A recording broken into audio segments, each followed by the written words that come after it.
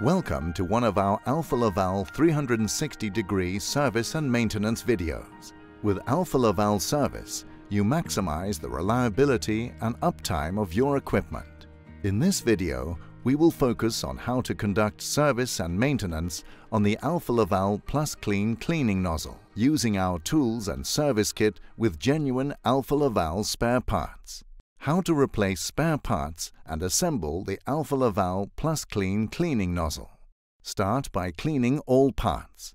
Place a soft cloth under the Alfa Laval PlusClean assembly to prevent it from getting scratched. Mount the two O-rings from the service kit in the respective grooves of the piston. Lubricate with water.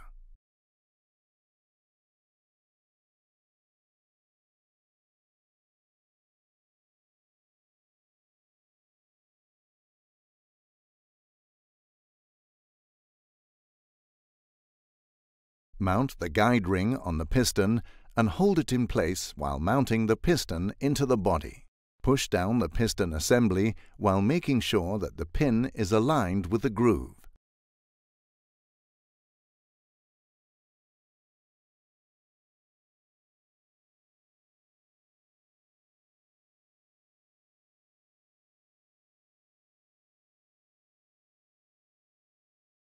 Now use pliers to push the retaining ring into the outer groove of the end plate on the body. Make sure the ends of the retaining ring are aligned with the groove. The retaining ring will now engage the inner groove of the body. Next, put the spring tool on the end plate and tighten the screw until the retaining ring engages the lower groove of the end plate. Remove the spring tool. Now remount the actuator.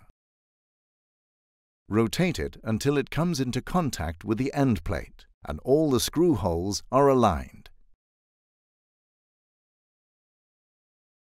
Fit the screws in. Insert an Allen key in the hole on the piston to retain it in its position. Finally, tighten the actuator spindle with a torque wrench, according to the torque values stated in the instruction manual.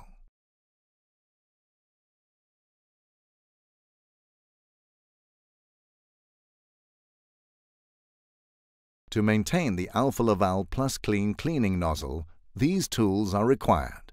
Remember, always read the instruction manual thoroughly to make sure you cover all maintenance steps. This video only shows you some of the steps.